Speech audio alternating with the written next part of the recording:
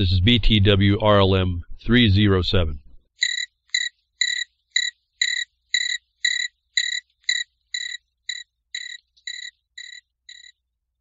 That's right. We continue to be the crickets we're not supposed to be.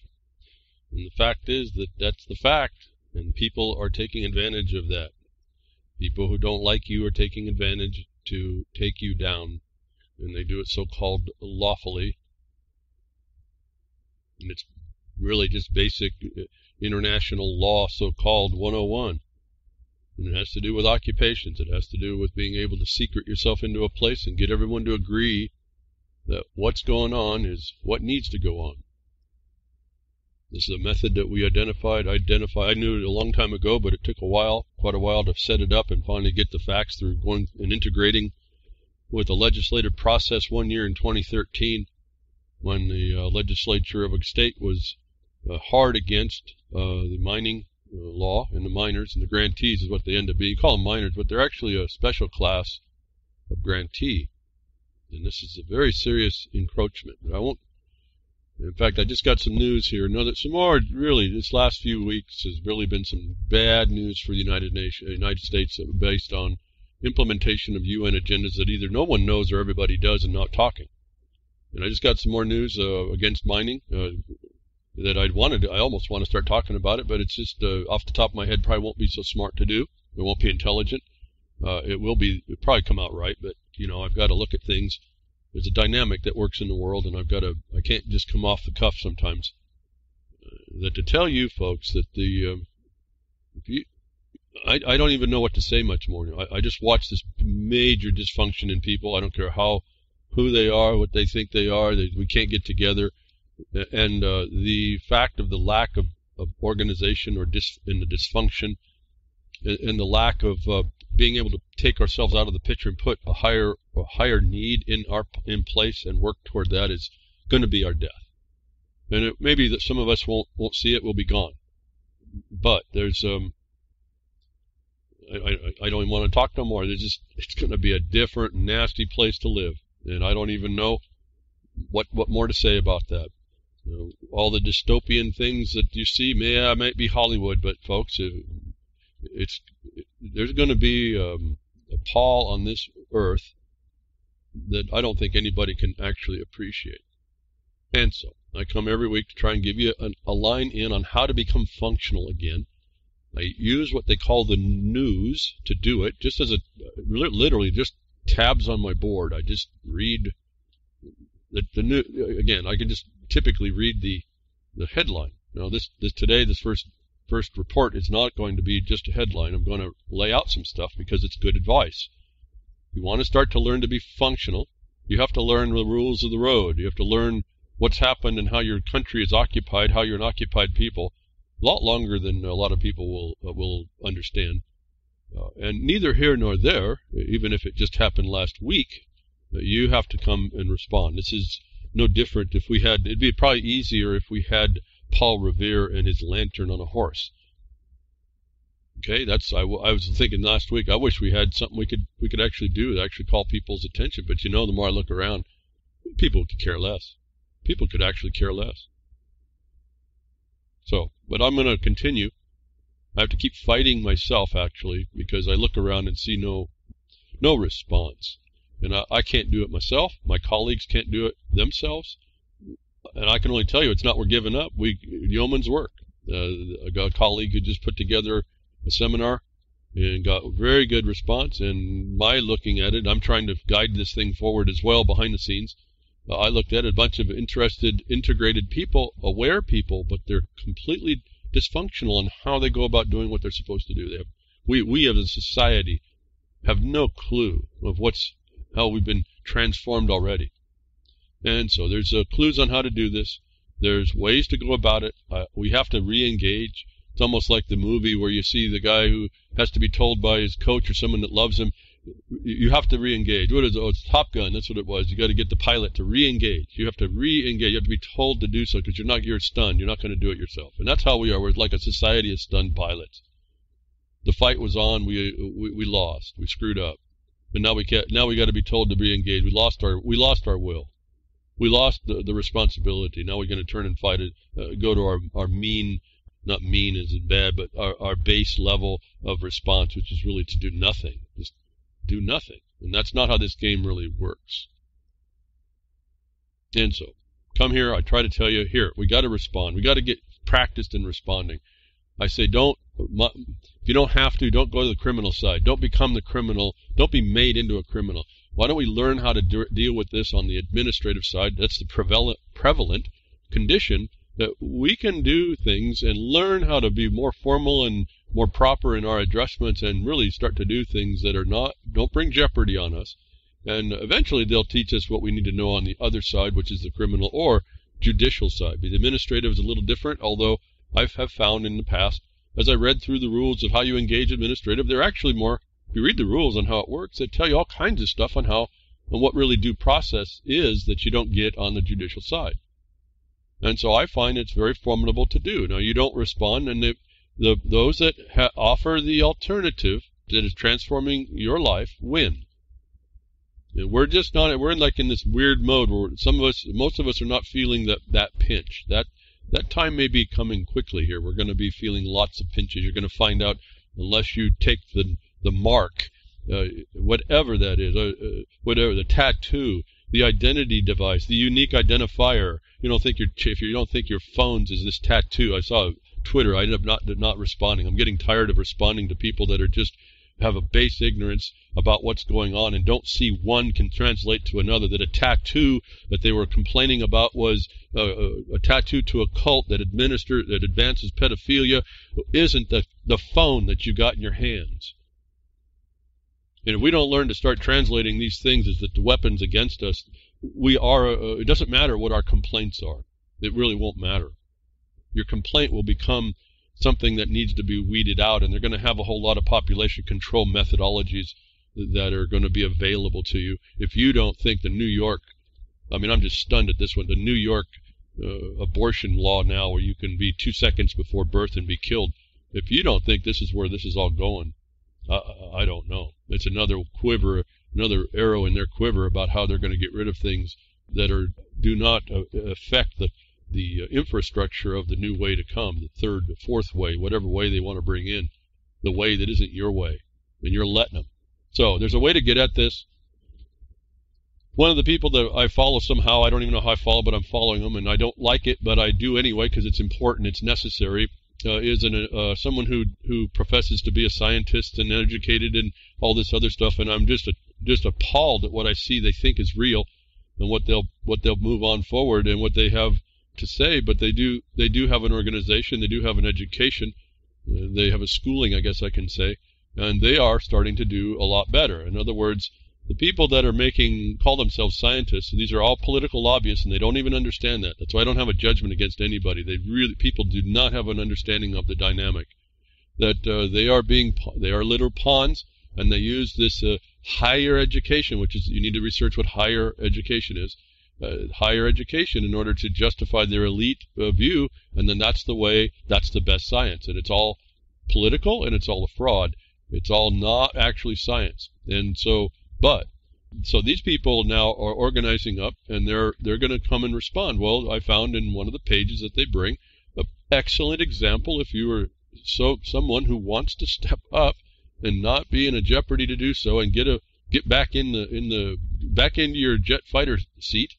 Uh, they have a nice little uh, website uh, presentation that I'd like to read off to you here, and it has a lot of the points that you need to know. And I I don't care where I get the information.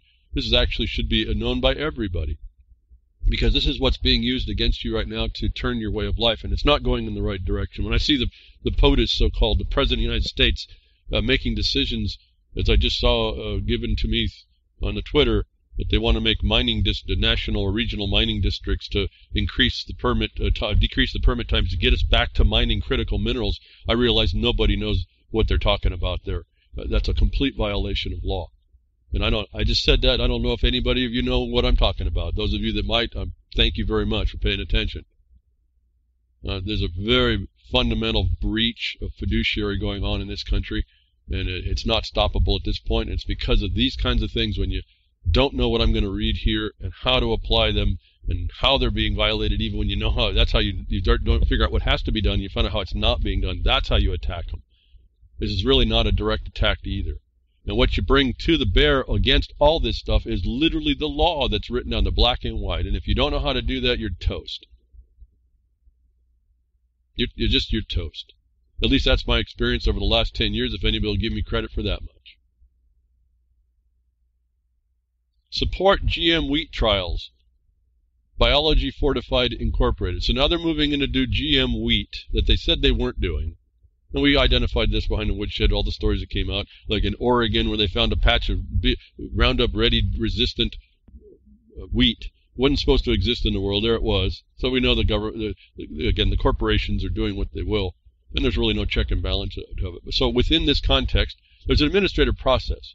And this is out in Europe, I think, in the UK possibly uh, support GM wheat trials. So this is a nice little thing that we can read on how to go about, and you need to think about how this works because this actually, when you address a, a government anymore, corporation, a government, uh, typically you'll be dealing with it on an administrative side. So when you, if you get this list in your mind, if you get to what the object is here, you're going to be a lot better to be able to communicate on on substantial things, not not nonsense things that I keep seeing people do everywhere it seems. Uh, let me read it here. Researchers in England have developed genetically modified wheat with higher levels of iron.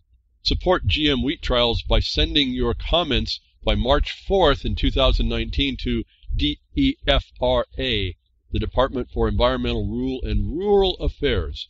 Now, again, I can probably take these articles and talk and talk and talk to show you what's all in here, what they're telling you. This is the attack of your production utilizing uh, GM wheat, and that is part of the biodiversity treaty. If you thought that the biodiversity treaty was about keeping was about keeping wildlife species in living, no, it also has a part for the genetic modification. This was done way back in '92. If you think this is all new stuff, folks, this is the, this is a plan against you to kill you off.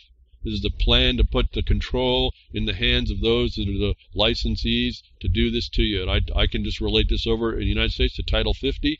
This is to the government to do because they say so. Why? Because they have the exception under the excuse and pretense of national security. Anyway, getting back to this, so th this is telling you this article says they're organizing up to make their comments. I'm saying, and this now I bre- uh, we go now. There's a behind, there's a woodshed, sorry, somewhere everywhere in the world. So my voice does not is not ineffectual anywhere. So over those of you over in the UK, this is where it is, Gov UK. Uh, they're organizing up to bring comments. Now, I have to remind you, this comment process is not one of not one of uh, vote like voting and popularity. It's one of substance, in particular, answering what the agency's after. So each one of you has to send in something who wants to say something because you don't know if you send. So you don't know that your point's not going to be made in order that can make the difference, or as they would apply it here in the United States, that you would take that meaningful comment that was not meaningfully addressed and enjoying the process for the agencies not doing meaningfully deter- meaningful determinations, which turns out to be what the term arbitrary and capricious decision is. And you can shut down that whole process just by being the one that brings the one answer that's correct if there's no others. In other words, your comments written on three by five cards written by somebody else are are by rule not not not looked on more than one comment. You can have 10,000 3 by 5 cards that say the same thing, and that will be dealt with as one comment. And a lot of times those are set up in order to, to be defeated. So you, you buy into those petitions, and you're done. So you're not asserting your own observations. You're not engaging your own critical thought. You're not engaging the law, more importantly. You're not engaging the failures of what I would say failures of due process are probably the most important at this point. Now, I'm hoping a lot of you didn't turn away when I'm talking about how this stuff is, and I'm hoping that when you listen, you're not just listening to my voice. You're actually saying, okay, maybe it is time. I really need to get involved somewhere. I find a wrong I need to make right. I can too, take these tips, even though they're applied to the UK. You see, they're all the same. It doesn't matter in the in the world anymore. We're under global governance. This is a process that's administratively already governance. And so they go on to say that we, as these uh, these so-called scientists, are going to get together now where they're urging themselves to come and bring comments. I'm saying you need to counter those if there is something to counter. I'm not even saying that this is going to be bad. I'm saying that when you don't bring it, I'd have a I have serious problems with the GMO, uh, GMO. But you know, there's a process that should check that, and if it's not, then maybe that's your problem and our problem, and that's what you need to go say on how it wasn't adequately checked, even. And we have, and hopefully I get to all this. We have all these questions the scientists themselves say that the scientists that are going to make comments don't have. That I find that uh, totally bizarre. They will deny there's any harm at the level of comment, but when you go talk to them, oh yeah, we got lots of problems. And someone needs to be there to call that out, and there's a process to do that, and you don't come under any jeopardy to do so. So I don't know why people aren't uh, actually uh, engaging this. Uh, to me, it, if you found out you lost the strength of a muscle that you were supposed to be flexing, you, you, yeah, no one likes to go do exercise, but at some point when it means your literal life, your way of life, it means eventually getting you wherever you live in your house. You'd think at some point you'd, you'd not want someone dictating to you in your own house. At least have that respect, much respect for yourself and maybe those little ones around you and the upcoming generation that are clueless to it all. Remember, I've talked about clueless. It doesn't even know to ask the question. That's probably our most serious problem. So I bring questions, if nothing else. Here I'm bringing you a method. It's, I'm talking about the UK. It's uh, applicable everywhere. There's rule o' law. That's because what the rule of law brought in was this method of destruction. And it's the method that sits inside these agencies as well. GM Freeze is a name. GM Freeze, an anti biotech group, has been mobilizing their followers to flood DEFRA, D E F R A. It's not really DEFRA as it's spelled here, but so understand the capitalization. This is somebody who's supposed to be an editor of documents and a scientist and know how to do this, and the D E F R A is not capitalized here. And so again, I show you you can look inside the work of people experts say, and it's not so cool uh, a lot of times. There's errors everywhere. And this ends up related, this goes back on through the process and it goes back in through the study. If you're going to have these types of typographical errors, it means you're not looking at the details. And when it becomes important, that, that is the weak link in you. And so I'm not going to condemn anybody here. I'm saying that's what you do to keep a critical thought and observation But moving on. As simple as not capitalizing D E F R A and making it a word, capitalized word, is a problem here. But not for us, and what I want to kind of move on, just as an observation. They're mobilizing their followers to flood DEFRA with negative comments. See, again, uh, as I read this, there's just so much to talk about. I don't, I don't have time to talk to you about it. See, they're imposing a negative comment on those that are counter to the uh, that anti-biotech. You got to come in and not be anti anything. You got to be you got to say the facts. You can't. You can't. You got to speak to the point. You can't just come in and with your opinion. Uh, this was that statement shows you that there's a now a division. No one's interested to counter what is supposed to be reality. That this presumes that the so-called the political scientist believes they're right. This is a very dangerous condition, and if you don't get your comment in that's not connected to GM freeze, by stating the other things. And that voice of reason, actual reason and impartiality will not ever be made. And I'm, we're talking of this in the UK. This happens in even in your local, right where you live in your counties when they're making decisions relative to these methods that are destroying you for transportation decisions. Your property taxes are involved. Uh, uh, numerous things, uh, health, even the, the production of growing of hemp or mining or anything in your locales. It's all the same process if you don't understand how connected the governance of the globe already is. The world order is coming through the administration of it. It's done. Now you're over, and now all it is is that they have the conduit built up to take you out. Are you going to let them? You know, I'm sure lots of people will. I don't even know what to say to that. I'm so disgusted somehow, but I'm, I got to keep reading. This isn't the first time. Some of you out there, see, there's some of you out there, and I know that. And so here, this is the first time researchers in England have had to deal with anti-GMO groups. Back in 2012, Protesters threatened to destroy tri- field trials of aphid resistant wheat. DEFRA isn't holding a vote or popularity contest. So I want to, now we get into the nuts and bolts. This agency is not holding a, a vote for a, as a popularity contest. It's probably the most important thing you need to know when you're engaging in any capacity with the government. This is not how many people you can come in these capacities to come and how many votes that make it right. If you come with an irrelevant point and there's 10 of you that all come with the same point, it's irrelevant. It doesn't matter. You all better come with your own voice, with your own interpretation, uh, and the facts, and supported. You speak your point, you support your point, and then you and you submit it somehow by oral or written. I suggest written because that's the record. That's a writ- every evidence is reduced to writing anyway. You might as well just put it there. Then you can read from it. But it isn't a popularity contest. So when you hear the gre- envir- gang green, environmental terrorists say, sign this card, you're, you're messing yourself up and you act actually at advantage to those that are not environmental terrorists because you're going to write your own comment.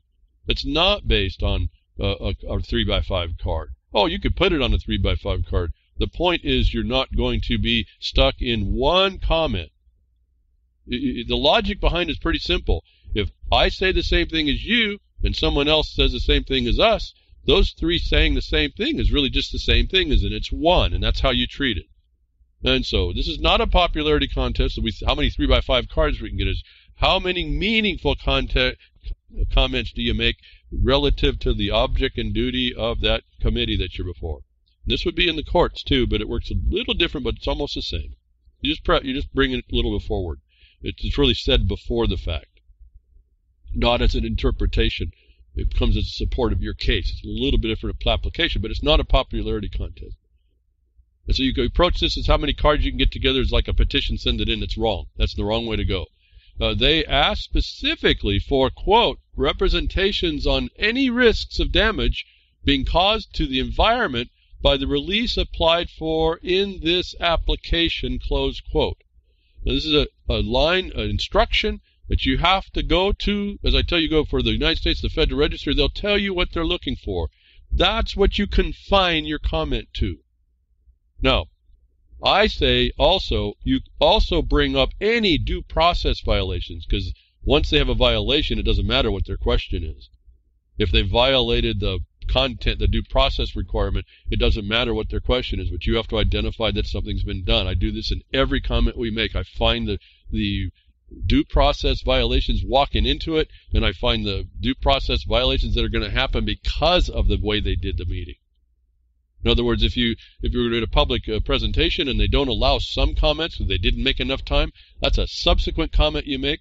You hold back your comment till you make it written, and you say they weren't even letting everybody make comments because they didn't provide adequate time for the public comment. That's a due process violation. So they couldn't have taken enough information. We don't know any one of the ones not taken could have been enough to stop the process. We don't know that. That's a comment period, a point.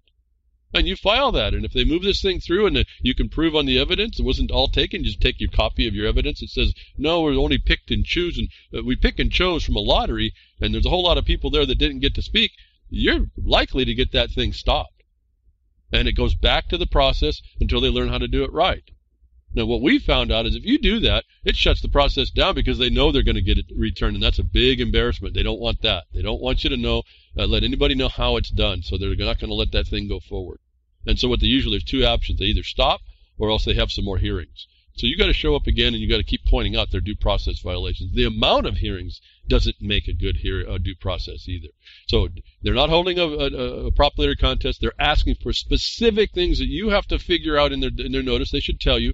And if you choose to provide a comment, remember that helpful comments are evidence based.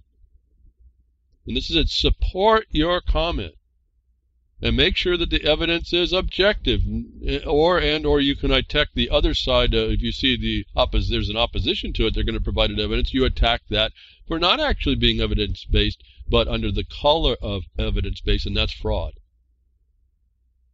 And so you look at the other side if you can and you put that in your comment or as i would like to do we either send in a comment on the law and that that for us ends it or we wait to see how the response is and then we'll respond to the the hearing that was had and we go ahead and attack other things that we wouldn't have known before. So we make all one comment and we expose the entirety uh, in our comment.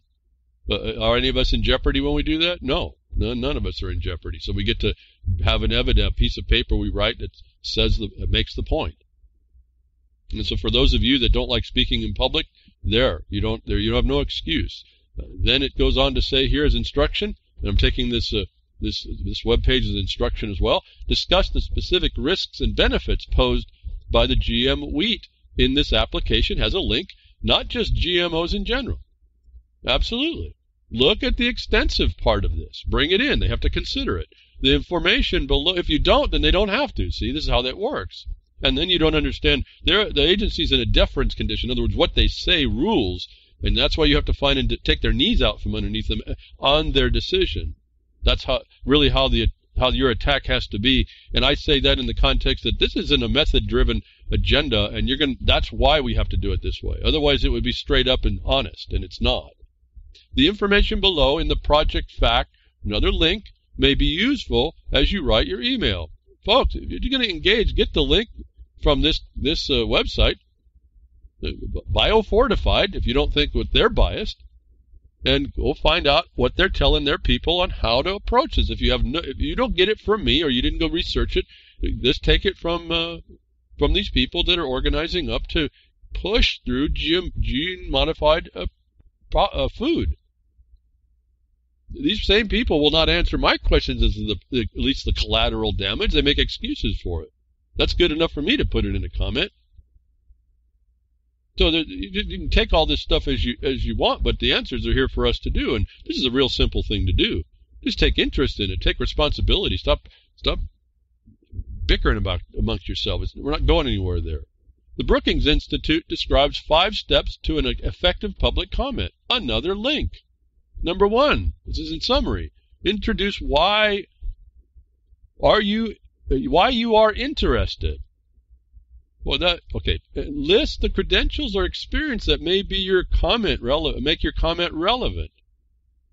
Like you're the ultimate consumer that's got a digestive tract that's been found to be altered by gene modification. Maybe that's a good comment. That's why it's relevant. At any rate, you make it up as you go. Whatever comes to your mind to outmaneuver these guys that are trying to bring what sounds like plausible reasons. They're only doing the half truth, if you will. You bring the you bring the underlying foundation that kills it all. Clearly identify the issues of why which you are commenting and list your recommendations. That's an important one that I was gonna I haven't I've got to clarify a little bit better with a couple of my colleagues. You just don't make a comment, and this is in the alternative dispute resolution. You have to make the alternative as well. Make recommendations, make them intelligent maybe just following a law might be good enough. Like for mining, that's the typically the main thing. Why don't we just follow the law as an alternative? Because these other the alternatives that are pr- proffered through the process are not the law. How about if we follow the law? Maybe that'll clean it up. If we follow the law first, and then we see what we need to do if there's an alternative. And so, don't don't underestimate the power of putting in the fact that the, the recommendation is an alternative to do what you actually should do instead of what everyone the agendites want to do uh, in furthering what whatever agenda they have. Number three, provide analysis and evidence to support your recommendations. Absolutely, always evidence based. Be careful it's not political evidence, though, that science uh, experts say stuff. Four, summarize your recommendations. That's now just the form of a normal letter. You put your uh, you do an entry paragraph on what you're going to talk about and why you're there this and that you give the body and then at the end you summarize what you've said so when someone looks at the last lines of the paper in a short paragraph you give them the, you give them the whole thing restated again number five list your citations of for any information you relied upon absolutely we just make an appendix and we attach whatever documents that we have we make citations or whatever just like a really fancy book report and so I found these five uh, Brookings uh, institution uh, things pretty good. You get a link. Why not? There's no excuse here. You can all turn away. You can uh, say you know better. And I just know that things going over the cliff here, and no one's doing any better. So we better start something organized in yourself. More than more importantly, iron deficiency is still a major problem. Biofortification is one solution. That was very important. It's one solution. Here's the alternative. Why don't we go find the other solutions before we start dealing in genetic modification that we actually don't know the ramifications to? How about that? No, that's just a bullet point to you. You'd have to support that. I'll, if I ever get there, boy, this stuff takes such a long time. There's all kinds of information you could throw together. Now they're gonna this this website's gonna prove why iron is important. Well, but what about the alternatives? And that's what you're speaking to. They're going to bring one. You have to bring the other. It's not just being anti. Many groups of people across the world, here, we get educated about iron, uh, okay? I don't know. Why don't you just give everybody a cast iron pot and tell them to cook out of it? How about like that? Many group, well, but okay, did you put that down? No, if you didn't enter in and get yourself as a stick in the spokes, they're not going to consider it. Many groups of people across the world suffer from iron deficiency anemia. Now, this, uh, to my mind, uh, I shouldn't interject. It, it, now points more to women, and this is the other problem. Remember, the problem of women, children, and the indigenous are stalking horses. And so, inside this is they don't even understand they're they're touching on this. I look at it, I see the again. I, I if I can say I have certain glasses that allows me to see them, and you need to see those glasses too. And so that's another point inside it. I'd be going look possibly going and looking at this uh, agenda to do this as a global agenda for the purpose of the stalking horse and not the actual purpose. In other words, your alternatives prove that out. But there are alternatives they could choose instead of messing with the food and messing with the uh, the uh, potentially messing with the environment. When they said that there was no GM wheat in Oregon, that's an ex- uh, proof that they does get out into the world and they can't control it. And so you now have a threat to the environment, just what they are asking for, correct? Anyway, getting back to this, they're going to tell us about I anticipated women. That would mean also pregnancies of children. That's in the global structure of why you how this whole thing is coming down. And stalking horses, not real reasons, but stalking horses. It's not that uh, iron is not a problem. It's that uh, they're trying to promote an alternative to how you would normally do it easily. Uh, I just said it again. But yeah, something easier than than maybe genetic, expensive genetic alternatives. So anemia is a serious problem. It causes stunting in children and pregnant women. Double risk of death for pregnant women. So there you are. There's two of the. Then we could throw the indigenous on there about indigenous women that are going to have children. See, they're right in the the global discussion. Uh, these people don't even understand that they're in there. Uh, but th- I could just given it innocence of this tells me that they're fulfilling the government. They're already educated to fulfill the government, the global agenda in their statements and what they point out. Iron deficiency. Did you hear to talk about guys here? Did you? No. Okay. Iron deficiency anemia has been reduced with supplementation and fortification of foods. Oh, okay. So there's one of the alternatives. Even with the, those efforts, iron deficiency st- remains a major global health problem. Is that true? Did you say support that? And if so, what are the alternatives that are not being done? I mean, it was a, a quite a striking thing in my mind when I was a young and to find out that a lot of our problems that uh, people weren't so sanitary and when we got more organized about that in health departments, the health departments actually helped us to understand getting getting hygiene was important. And when that happened, it happened to correlate with a lot of other pharma stuff. Uh, health got better, uh, got less sick, all that stuff. And it was just amazing to me as a little one looking looking on the uh, society. It had to be told about hygiene. It didn't figure it out on its own. And yet, when it started to practice it better, we got better. We got more healthy or less sick, I suppose. And so, what about all these things that are? Well, why is it a global health problem? We really don't know. Maybe we have to go look and see some basic things are not told to people. They just don't get it. That's an astonishing thing to me somehow. But anyway, while interventions like supplements and gardens are nice, see how they demean the potential? You have to go look at that because if the bottom line here is if they could be upgraded and the cost is less, or even even not, if it's just the more effective because you're not what doing what, you're not inventing a bioorganism that will pollute the world. Maybe that's an important reason. Uh, but you can go back to nice. You see, they they're nice. No, they're, this is either it either works or it doesn't. You see how the subjective tone came in, and there's no evidence for that either. So within their own comment here on this page, you can see how they demean certain things to raise others, and you have to be there to check that.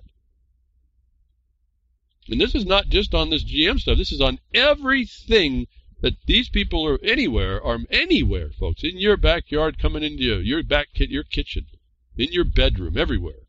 They're coming there to make policy on stuff, and they do it just like this. Oh, it's nice you had that, but we're going to do it this way. And no, uh, don't forget that these are all conflicts of interest on their industry, aren't they? And where their jobs, how they get fed.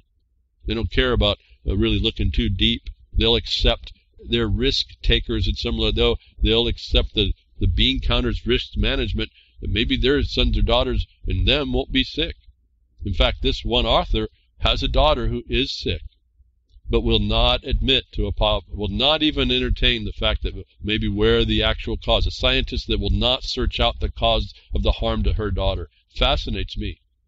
And yet will promote this kind of thing. So these are promoting, they're organizing, and they're coming to a country near you to bring this agenda in, and they're going to do it through the administrative process. You need to be there to counter this stuff, or this comes into your food system. This comes into your the biology of your area of plants. The benefits can potentially spread to every farmer and every person who eats biofortified food. Potentially? Where's the evidence for that? Or do you is evident eh, when you say potentially have you negated your ability to bring evidence? It's only potential. You've really admitted it's not fact, haven't you? But you see, if you don't aren't there to counter that, not to just say, oh, this is the potential. No, you say it may be said it's a potential, but that's not a fact, and that's not proven. And besides, we have other alternatives. You can tie yourself together pretty well here. And so they have more links on how you can go learn their aspect. My own thesis research, uh, authors re- on on the novel approaches to improving qualities of maize endosperm includes efforts to increase iron levels in maize. Efforts. And you'll find as they talk, they're having trouble doing that. So now maybe it's not so easy. Maybe it's not something, maybe nature's resistant for a reason. Unfortunately, staple grains lack genetic diversity for iron. So breeding for higher iron levels isn't really possible for crops like wheat or corn. Plant breeding has been successful in developing wheat in higher levels of zinc, another mineral important for human health. But despite decades of trying, international plant breeders have not been able to increase iron levels in wheat. Right? There's a whole thing to say there. I'm going to have to keep passing because so much time is passing on this. I've got so much more to go- cover. One concern with biofortification as a solution to micronu- micronutrient deficiency is whether costly seeds will be made available to all. Oh, well, so we have no solution here, correct? It's actually a hope. It's a concern, not a business. It's a worry. They already know this. This is one of your what you do. See, that's what I was saying. There's an alternative to lesser costly, lesser involved, lesser bureaucratically tied in, lesser fraudulent contract written type of monopolies that are created around this. Extend it out to there in your comment. This happens like when you're public-private partnership, your leverage funding at home in the United States of America when they're deciding to do some kind of so-called service for you in your county. It's all the same stuff here, folks. I don't even know why this is such a hard thing, why no one's ever seen it. It's right here. In the case of the GM High Iron Wheat private seed company, interests are not currently a concern. Quote, the development of this part- particle wheat line, particular wheat line was initially funded by the non-for-profit organization Harvest Plus, and subsequently it was publicly funded by the UK Biotechnology and Biological Sciences Research Council. And you know what I talk about councils here in the United States. Licensing and breeding the trait into locally relevant varieties is still a consideration, but the first step is making sure the trait performs in the field environment. And this is relevant to the speech. They want to get it in the field to see if it's even anything. Do you need that risk? I guess we're going to go talk about risk management. That's what you're talking about here. GM wheat with high iron is being developed even though they don't can't do it. So what's the why are you putting the environment on a I'm talking about where you live, not the environment they talk about. I'm talking about your environment, where you live and breathe and eat.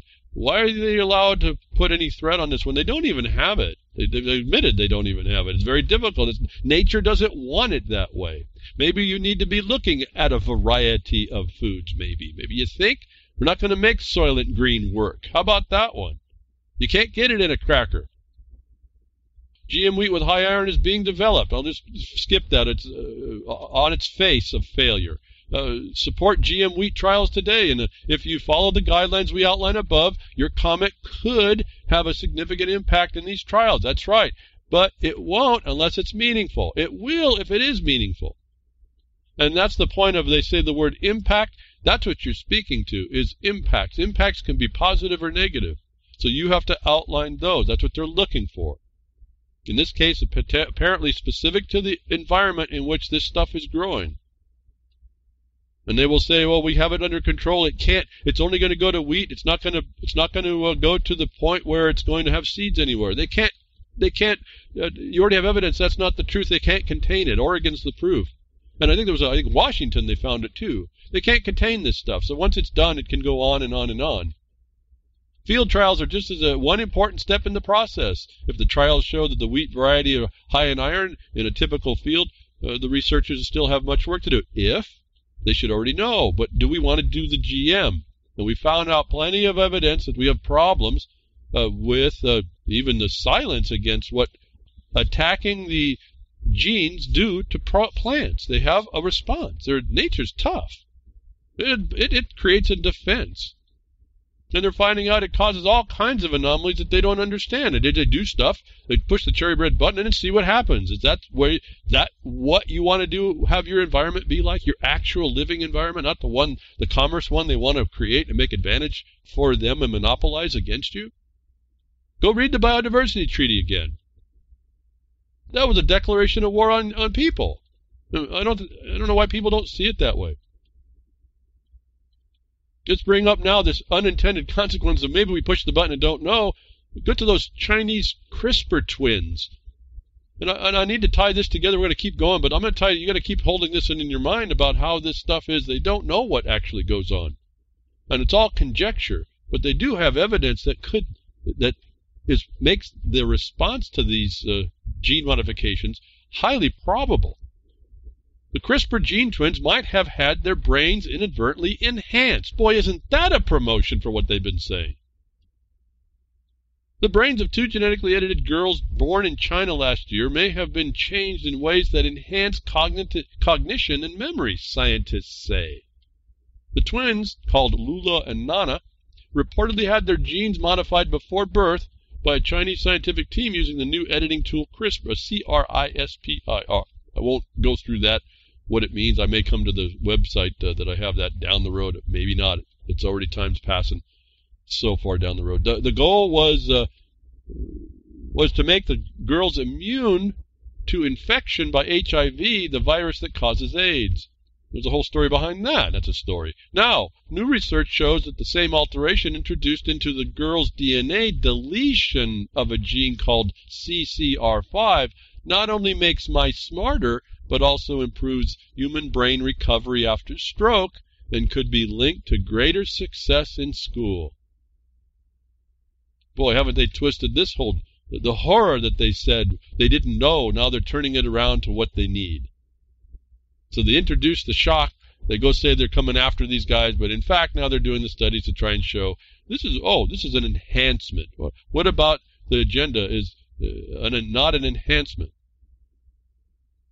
See, they always enhance and modify and modernize.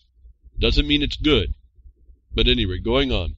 So the, remind remind yourself, as we say, I told you when we looked at the dragonfly that it was genetically enhanced to receive the biosynthetic uh, uh, data, digital uh, hardware.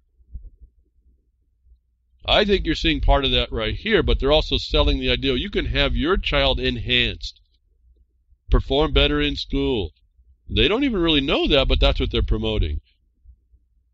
I don't know how, how, how you perceive this. It's very dangerous here, what I'm reading to you. How they move this along is, is just, you're watching how they do this.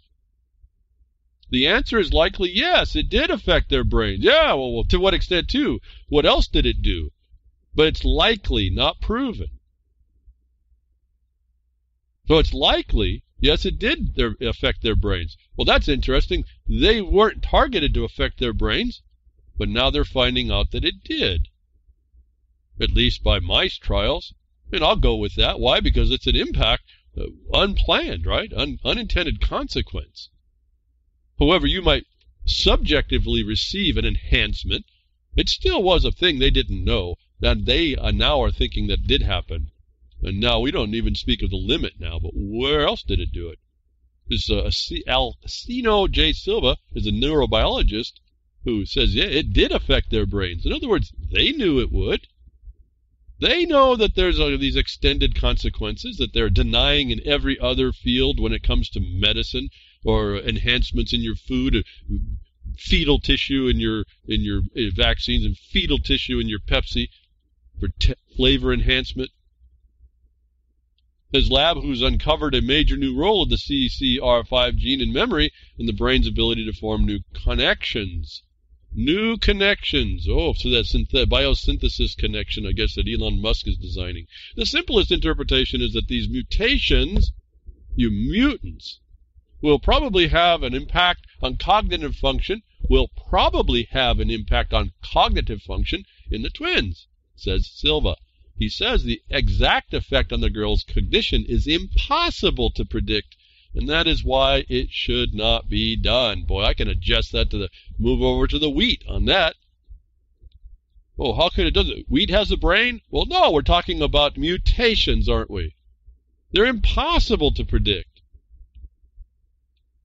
So, word of warning, not that you have a, well, I guess maybe your youngins may have this choice to make. My point here is to show that science was willing to push the cherry red button every time and hope everything works right. And they know some things that they're not telling you. And this is a scary, scary future. So I wanted to bring that up. And I know I was in conjunction with the wheat, but I don't see a distinction when you're talking about opposing genetic modification. At some point, I, you know, the technology is really neat. And it was really neat up until I found out about these unintended things. And then I found out actually the experts say don't know. And when you hear someone who's supposed to be the expert on CR5 who's found a major new he's guy studying it, and he says it's impossible to predict, I would take that to the bank, folks. I would take that to the bank. And so, here we go, moving on as we get into lab stuff, technocracy in your life. I start with administrative procedures, how you need to engage, how do you need to interject to counter the stuff that you hear that's out there for two reasons. One is to counter it as we learn to stop it completely, uh, and this is the kind of guiding me through that mining stuff because we have to, we have to deal with things that are wrong now while we're moving to end the problem. And it's endable, I guess, is the other thing. We can stop it if we just get everyone doing the, the law, essentially. The thing that's already written down. There's no extraneousness that has to happen. It fixes itself. And that's, I guess, my point. A good comment is, why don't we just do the law fix itself? We'll see what the alternatives might need to be, but on a much smaller scale, without such a uh, an unintended potential, an unintended consequence potential. But no, government's going to push, at least the United States is going to push forward, and this came out a uh, long time back to show you how long ago uh, that I had these on my tabs, but they're coming relevant again. In November of 2018, I was going to bring this out to show you. Be careful. Here, here comes the stuff, and now we got the rule. Now we got all the news coming that it is. Uh, U.S. paves the way to get lab meat on plates.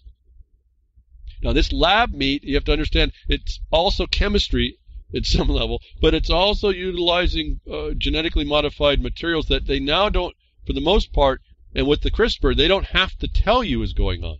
All with unintended things going on, mutations that are not predictable. And they say, oh, well, what you're eating it, you're not living it. Well, wait a minute, it goes into my gut. My, I have little organisms that are the size of the things that they've altered, that were the things that they did alter. You don't think that's going to cause me trouble? And we have facts that prove, uh, studies that prove that they are altering your gut. All right, so they're altering how you synthesize your uh, the things that keep you going. And I, I that's a different. Okay, there's a couple. Uh, some of you that may have be aware the stuff that's in your gut, that's the physical thing. There's also this energy field. Okay, so I don't want to get too lost in all that, but there's all all kinds of stuff that science won't even look at here. And I don't want to get too esoteric, but it's there, and we all have a sense of it. But we can see it in the gut, the physical gut problems. And I got a story I just realized way down the tabs. I was going to talk about all during this this uh, this tab reminds me of a whole bunch of other tabs where I talk about baby's gut uh, bacteria. I didn't get to present that. Uh, I think Grammy Mary might have done it on one of her broadcasts a while back, where the baby's gut biome is different when you start interjecting all these things. And then I have told, I did tell you behind the woodshed that the gut biome was altering how and what gets created and what organisms are in your gut biome that do the, the, the processing that keeps you healthy. And they're interfering with all that. But U.S. authorities on Friday, back in November now, old news, agreed on how to regulate. They agreed, the authorities agreed on how to regulate food products cultured with animal cells, paving the way to get so-called lab meat on American plates. The Department of Agriculture and the Food and Drug Administration should be Feed and Drug. I keep telling you, agreed. That's what maybe a comment should go in. You should change your name to Feed. We no longer have food. Uh, at any, any rate, that's a that's a thought come to me. Uh, Food uh, and Drug Administration agreed to share regulation of cell cultured food products. They said in a joint statement following the public meeting October. While technical details have yet to be confirmed, the FDA would oversee the collection and differentiation of cells when the stem cell development when the stem cells develop to specialized cells while USDA would oversee production and labeling of food products. Most, where are they getting stem cells but, but from maybe aborted fetuses? Okay, so not the only source. But anyway, it, it, I start getting too deep in this. It makes me sick to my gut. Now, hopefully, and hopefully, I keep my diet in good shape so my gut can handle it, and I don't go nuts. Anyway, right here they were telling you they're they're agreeing on how they're going to move this cultured lab meat that's using animal cells. These are all GMO animal cells that they'll be doing. Uh, this is all. Uh, I remember the organoid brain. Okay, folks, here. This, excuse me. There, here's here's the the big point about how this works. Uh, they did this way back in November. Uh, I made the observation then that included uh, that included gene modified, uh, genetically modified cultures was included in this, and then I was making the observation, and if you were there to make a, a, a comment, you could have to say maybe why don't you, when you do these, allow these things, since you're uh, saying that they are so-called food, why don't you put a, a GM in front of everything that is GM modified? And you look through the article, and the company, the companies that do it should change their names so that there was a G-Mosa, G-Meat, G-Mo-Emphas, and a G-Meats was the companies that they said were going to do it. Just add a G to these companies so we know that what they produce is genetically modified. So when we read it out, their companies on the label, we'll be able to identify that they're uh, the, that they're gene, gene modification animal cells in this so-called food. It's feed. And I've I asked the question, wouldn't that be honest labeling? In other words, you throw that in as a comment. Uh, isn't it dishonest when you're not telling people about these gene modifications that they know they can can't predict the unintended consequences? There's the mutations are in uh, unpredictable, and yet you're you're sweeping them under the rug. Did you look at that? Well, now you get it. Now you got a bigger. Was it meaningful what you actually decided there? But see, no one was there to, to discuss this, and I didn't get to it on the notes, so it's gone. I guess you could integrate it back in. Uh, it does. It's a concur. It's a common. You have a right to have better food than what they did. If you can find a process, you can reopen the process, I suppose. But it has to be really big, but you could do it. Uh, the problem. So anyway, uh, paves the way. United States paves the way way back in November, and Remember that pink slime story? Uh, all of a sudden, there a big uproar, everybody, and then it calmed down, and McDonald's decided I'm not going to put pink slime in my food and all this other stuff. Well, okay, it's back in the news. The United States government just reclassified pink slime as ground beef. For all you legalists out there, we'll just change the term. We'll just find it. We'll have a hearing, and we'll just decide that it's ground beef. And in a way, think about it. It's just ground beef. It's the parts as parts and they grind it up into a even finer texture and it's just fat and meat and tendons isn't it and feathers and all this other stuff isn't it you're not going to know it's like you won't know your Soylent Green Cracker. Boy, I didn't know I'd get back on that subject. But remember the dreaded pink slime video from 2012? There it was, some indescribable pink paste extruding from a um, through a machine. What was it? Strawberry ice cream? A new type of Play-Doh? Nope. Pink slime was basically the meat industry equivalent of the trimmings and scraps that are normally swept up and tossed in the trash or into pet food. A collection of bits collected from the meat production process that is transformed, remember the transformation, transparent to you, into a filmy translucent substance using a centrifuge, which is then treated with ammonia hydroxide gas and added to commercial ground beef, usually in the fast food or school cafeterias. You mind controlled feed animals. All your sons and daughters already getting this stuff. Ammonia hydroxide reminded me of a picture I saw on the Duma uh, gas attack that was blamed on Assad.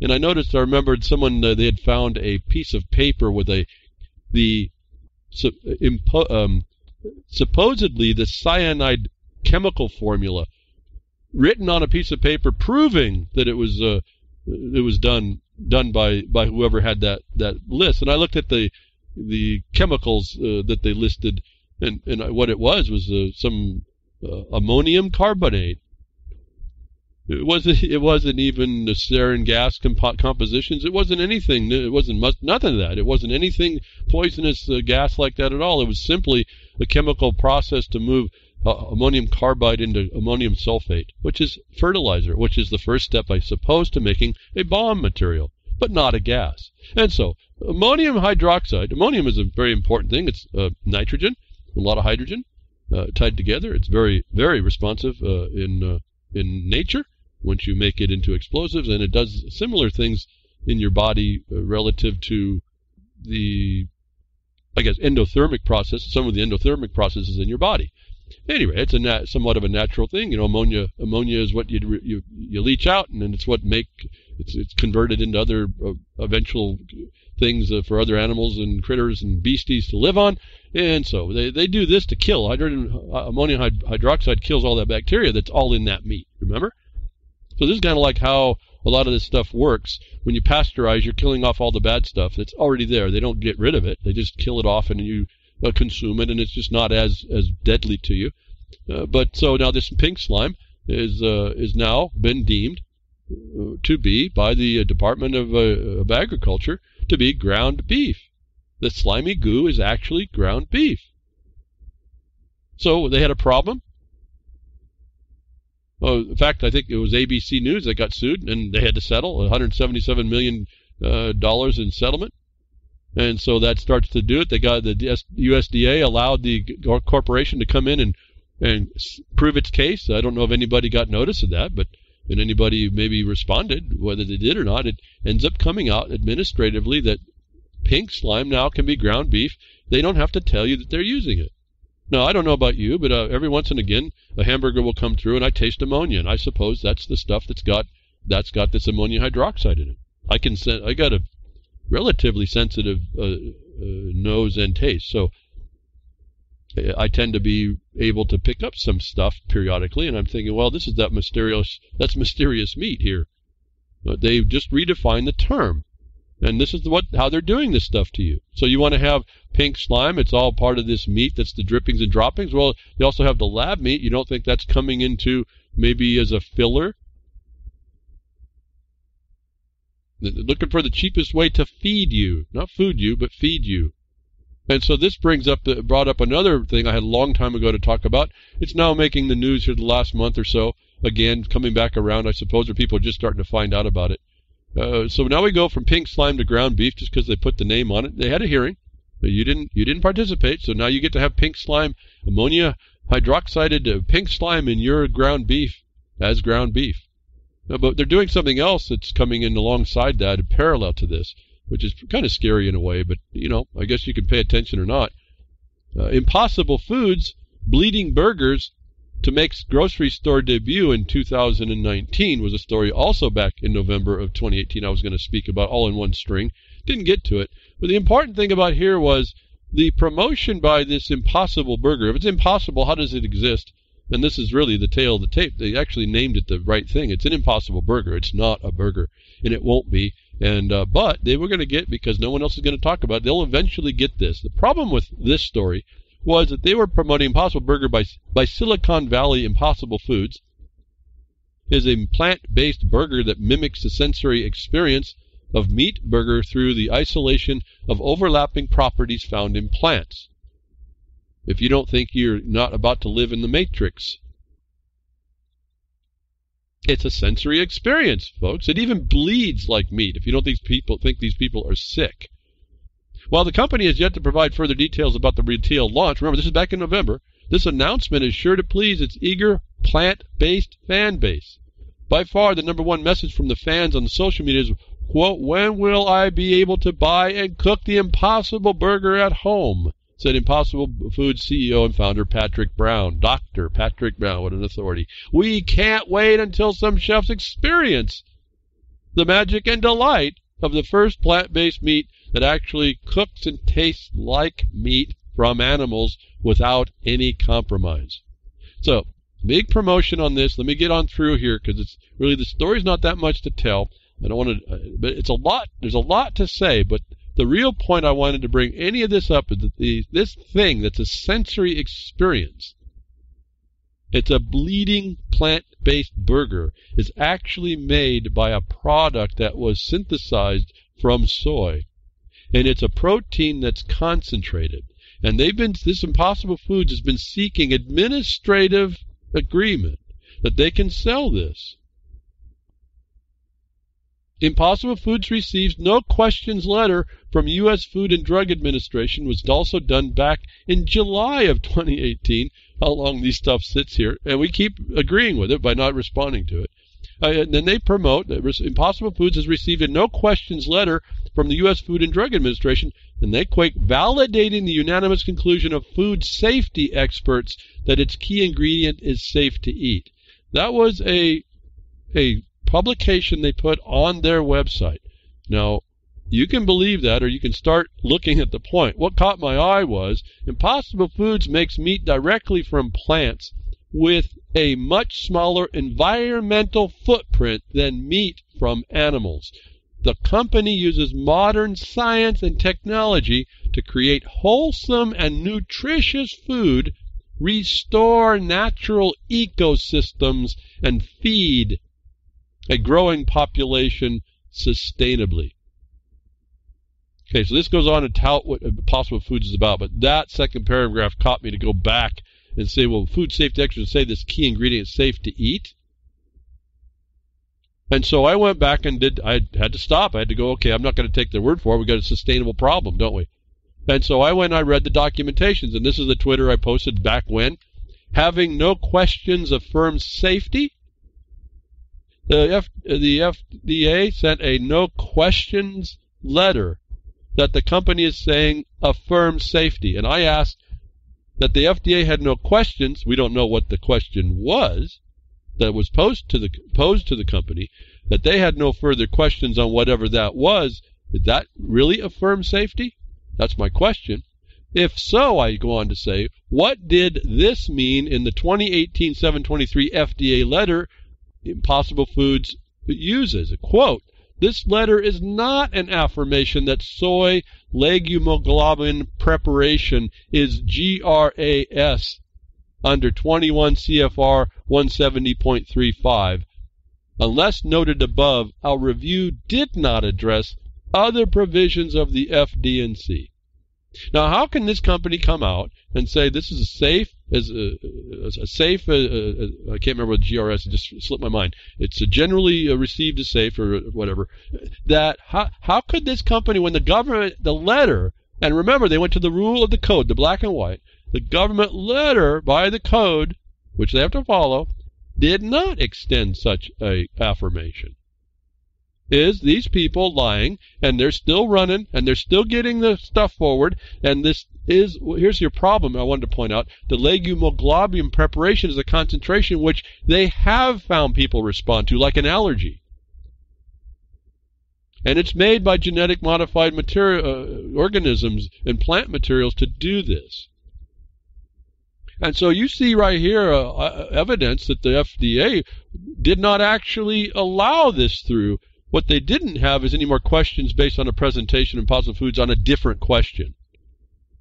And so I'm offering this in the idea of the administration and responding so we get a sense of how to work this thing, how we're being taken down, to show you have to go into the documentations and look very carefully and then you start making out the failures that they're doing. And I don't know if there's much, um, you know, the company's going to go on, but here they're going to said they already told you that they're promising to have this in the food in the stores by 2019, and they're going to move forward as a lie about what the FDA FDA did.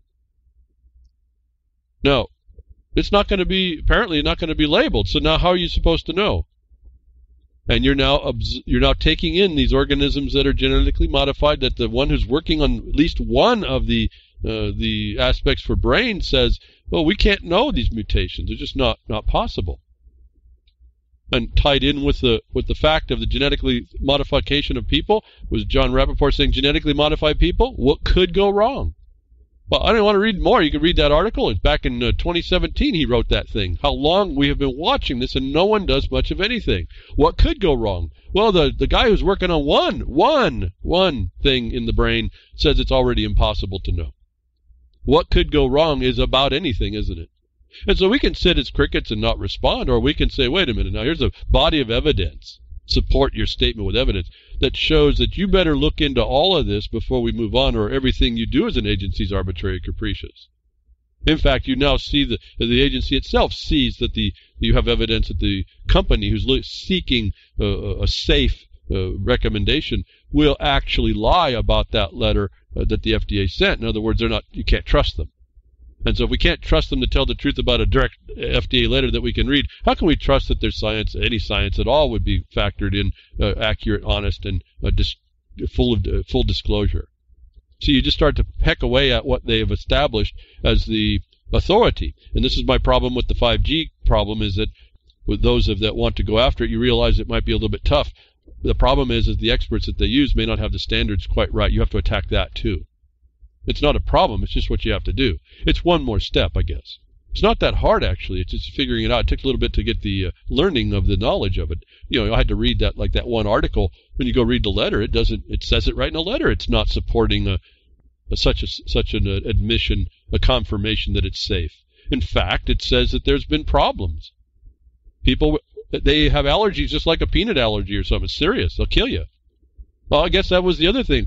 Word to the wise, folks. This stuff's gonna kill you. Uh, I don't. You can't know what's not gonna kill you. You could be that genetically predisposed um, body that just can't handle this particular concentration of this particular protein, or or whatever, whatever the whatever it is they're doing. So genetically modified people, what could go wrong? Yeah, well, back now we go through and we see that their companies will lie about the certifications they don't have and they need. And we see a scientist who says, "Oh, I don't. Yeah, no, we can't predict any of these mutations." Well, what could go wrong in people, folks? And that led me on to the back, getting back to those organoid brains that we talk, talked about. I thought that was, you know, this is kind of, in a way, it's like funny. I, I think this is the, what a joke that we got running for a life anymore. A lab grown mini brain spontaneously produced human like brain waves for the first time. I think I reported on this. But I wanted to bring this up in the context of the fact that they're doing genetic modification on people. What? Why not do it on these organoid brains? They have brain-like, brain, uh, human-like brain waves for the first time. In other words, you put these structures together and life happens. Connections go on. They don't have control over any of this. And now we find out that the, the mutations are not predictable. Neuroscientists from the United States uh, University of California, San Diego observed spontaneous electrical activity that resembles human brain waves in lab-grown mini brain for the first time. They hope this breakthrough will allow researchers to fund to study the early stages of brain disorders like epilepsy in infants, which is usually difficult or impossible due to the difficulty of analyzing a fetus in utero, which in which in uh, New York will be nothing. It just doesn't matter. Having a little bit of a problem with the baby two seconds before it's going to be born, kill it. Take care of it. We need parts as parts for us. We need the umbilical. We need all the stem cells. We need the mini brain. We're going to attach this kid's mini brain. Now we're going to make an organoid uh, uh, mini brain from an actual brain because we've we've pulled the wraps off of all uh, ethical constraint. The future needs it. Now let's get back to this lab-grown mini brain. What they talk about? Lab-grown meat, right, folks? And they can put this animal cells in your feed. Go back to John Rappoport. What could go wrong, folks? Well, if you're not there to kind of start saying something, we're going to find out. And we're finding out that those of us that are still alive that start eating this feed do get epigenetically changed. We may not suffer the neuro, neuron adjustments that the twins in China are to probably receive a neurosynthesis device for digital communication to the world, uh, but we're going to uh, be affected in other ways that'll bring us uh, subject to other things and likely the the weaponization, uh, population control weaponization. And so my question on all of this stuff has been because of the sustainable agenda has this one principle that seemingly they'll use against you. Uh, we need to maybe assert it against the system, if you will. If you say nothing, it doesn't get asserted. So I'm bringing it up for those that will regarding the concern for a precautionary standard. Remember, the precautionary principle is don't do anything until you know it doesn't do any harm. That's what they're using against us. Yet you look at the administration of the human animal in the government, and they don't they could care less. It's about the bottom line. I think we maybe bring in the precautionary principle here. If they think they're going to have an impossible burger that's sustainable, maybe we need to bring in the precautionary principle. Hold their feet to the fire. They did fraud on the public by saying that this was agreed that this material is good for you when there's evidence in the letter that says it's not. Now, regarding the precautionary standard, why do they think plants and other organisms are any different? In other words, why aren't they applying the with when it, you have a science one scientist saying, "Hey, this is a we have no way. It's impossible." Talk about impossible burger. It's impossible to determine the mutations of that burger. Why do we think the precautionary principle is not uh, to be imposed upon plants and other organisms, even human organoids or aborted fetal brains that they uh, save uh, in order to do whatever? If you think that that's New York issue isn't going along that agenda, they're finding out they need more fetal bodies because this technology uses the fundamental cells that are still growing. This is the point about Roe versus Wade. I've talked all about this. Before the technology was the Roe versus at the time of Roe versus Wade, they were just looking at whether or not if they took the the fetal unit, which is not a not yet a legal person, the fetal unit would it kill the productive unit in the of the mother? And as time has passed, they've been able to save the mother later and later to the point that now they can save the mother all the way up until seconds before the fetus is born. Now the industry of Roe versus Wade for fetal material was created, and, and Planned Parenthood is one of the main uh, agents for that. They need more body tissues. They need them that young. And they put them into your feed. And so why aren't we using a precautionary principle on all this when they Impossible Burger also claims it's sustainable? That's the principle they use. See, the scientific community was outraged at Chinese scientists gene editing baby claims, but now you see a scientist saying, oh, but it can enhance the baby. But we don't know what other impacts there are. Why don't we use the precautionary principle? Is another tactic in the administrative addressment. You need to set that forward in a comment. Where you where you use the precautionary principle and other things sustainable, why aren't you investigating the need for that here? And I think that, that, that comment all by itself might be enough to stop the process in lots of areas. Lots of areas. And that puts the onus on those that are fabricating, uh, well, the experts say now put come underneath some scrutiny to make their science a lot better than what it is. Uh, actually, maybe have to make it science. So, what's the upshot of all this? And they're going to get you prepared. Uh, again, uh, months and months and months ago, uh, it came right on the heels of all this stuff. It's lab-grown meat. You don't think it? You think it's cheap? No. They got to start raising the price so they get to start putting this stuff in your feed system.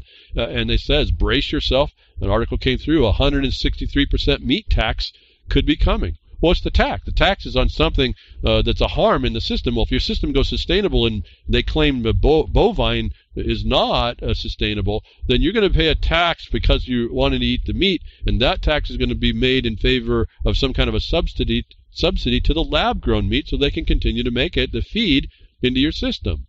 So when you understand how taxes are supposed to work and why they exist, you can start looking and seeing whether or not they're viable on their face and what they're after. And that's why you see lots of taxes now coming out against you in lots in all areas of your life because the, your life is a crime and they have the government now is in a position to mitigate the harm you cause to all society each one of you. They don't regard you as a society anymore. You're the harm to society. So to offset that to your harm you're going to pay a tithe in the form of a tax. That extortion of every kind that your civil rights is title 42 USC 1981 for those of you who are doubters and deniers go look and see those taxes are your civil rights and you're going to be paying because you're the problem by eating meat. And they need to make it more sustainable, so they're going to take, ostensibly, take that tax money and hand it as subsidies to these labs. All right, so that's how that all starts to work. When you see are paying a tax, it means you're doing a harm. You're presumptively a criminal, and you don't even realize that. That's how they justify it as well. And if you have never heard that, then you're not reading quite the right things that you need to be reading to start to see how this thing starts to work, and maybe that shows the subtle distinction on how I move this through and how I can see what I see and what it does, and uh, things I don't even talk about. I, it just becomes a thought process of the ramifications of this mode and how this works. And I have never, I don't think I've ever said that that definition. Maybe one time before I've explained what taxes are about. Uh, but now, if you in this context, you can see how they're done that they come at you because you're becoming a harm that you need to be mitigated and the government's there sitting there for you to pay and they are there to regulate you for the harm that you're causing. Under sustainability all people are the harm in every aspect of your life. You like meat and they don't think it's sustainable you're going to pay a meat tax until we wean you off of eating that and you're going to be eating that impossible burger. And if you die because of the the, the soy uh, protein concentration, too bad. We don't need you around anyway. You're evidence that it doesn't work. Let's get back to the scientists, so-called, the guys looking at it, the guys that have been pro- promoting all this stuff, uh, the water under the bridge that we don't bring to the table and say, listen, you're not, you got to look at this, and if you don't, you're not meaningfully looking at it, and I can enjoin your process for trying to harm people for not looking at the harm. A GM potato creator now fears its impact on human health. Okay, so this guy makes a living out of doing this stuff, and finally he gets a conscience. But here it is for us. Here's the evidence. It concurs with the other guy that says, oh, we can't, the mutations, oh, they're impossible to predict.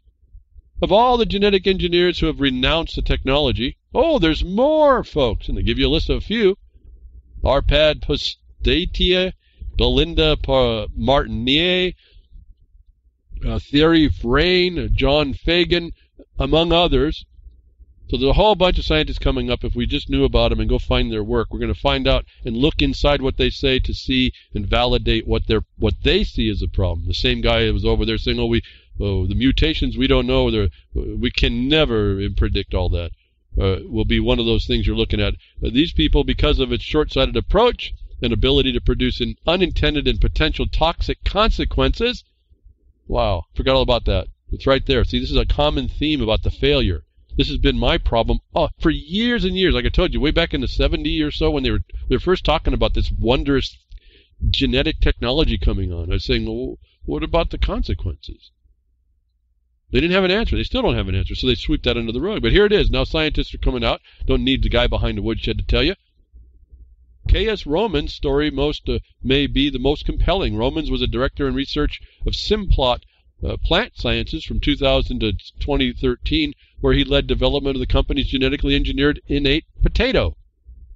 But over time, Romans, R O M M E N S, Romans, not Romans, started to have, although, uh, started to have serious doubts about his work and worried about the potential health risks about eating the GM potatoes, which are now sold in 4,000 supermarkets in the United States.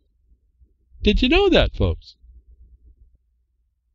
So, I mean, do I really need to keep reading more, but I'll read another. Let's read another paragraph. Roman's concern about the GM potato led him to write the book Pandora's Pot- Potatoes. When you want to go look this up, which was recently published. The book is a case study on how a scientist's initial enthusiasm about genetic engineering turns to doubt and fear as he realizes the hazards the technology can create. This is a comment, folks. This authority here with that in your uh, in your appendix is a comment that isn't being looked at. The, they're already putting this stuff in the marketplaces. How far behind you are. And so the scientist finally comes out, has a conscience. You can read again. I can read this story. The point is, we have another scientist saying that these there's toxic consequences. I'll use his term to what's going on. And you could sit quiet while these toxic consequences are pushed through a system that you deride, correctly deride, but don't do anything to stop. And I've been coming for years to try and tell you engage somewhere. Right now, we have to engage until we can shut this thing down, find the right answer to just shut it down. Whether that be us, you know, getting the people knowledgeable to not touch it, whether that gets, becomes legislation that everyone doesn't want to touch because, oh, it's the law, or whatever you were going to have to work out, or the rules get changed. Like I said, go to the policy of the cops to stop this shooting or cause some accountability. Or whatever the thing is you're noticing. You have to engage, or one day this stuff happens to you.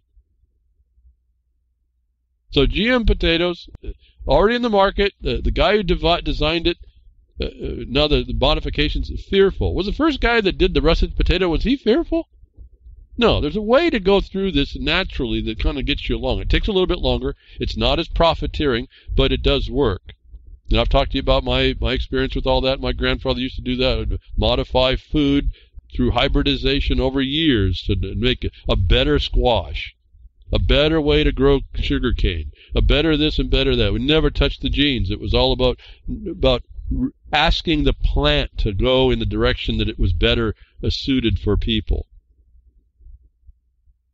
It never polluted the environment. It never did any of that stuff. And over time, you were able to get better food. But here we have this point. They talk inside uh, the article. I respond here. It's all wrote, written down like on the Twitter. Is this little dialogue, this little his history uh, library. Transparent ripple effect is what I identified in all this. Quote: A silencing taking place in GM potatoes affects genes of animals eating GM potatoes was identified. When you eat this stuff, it affects the animals. What have I been talking about earlier about the administrative process and allowing these animal products, GM modified animal products, to go into your feed system? Should be a food system, but it's a feed system. They say in this article that it affects the animals eating the potatoes. What have we said over and over behind the woodshed about this problem forever? I've been talking about it. We confirmed more of that in that gut stuff. It affects your gut biota, and that affects your health. So here we have again this quick jump into technology that, oh, sustainable technology supposed to be the quick fix for profit. And it's again this cherry red button pushing. It's biased and narrow minded children that are doing this. So if we think we're all grown up and our ex- experts are saying that they're responsible people, no, these are, I look at this whole world anymore. I'm sorry, I'm really hard not to see uh, we're just a bunch of immature idiots at some level. We're biased and narrow minded on our little focus as children. It's called best science right now, folks. Monsatan and Slayer and Sin Plot and DuPont. No, DuPont. DuPont. This is the cover that they've come to hurt you.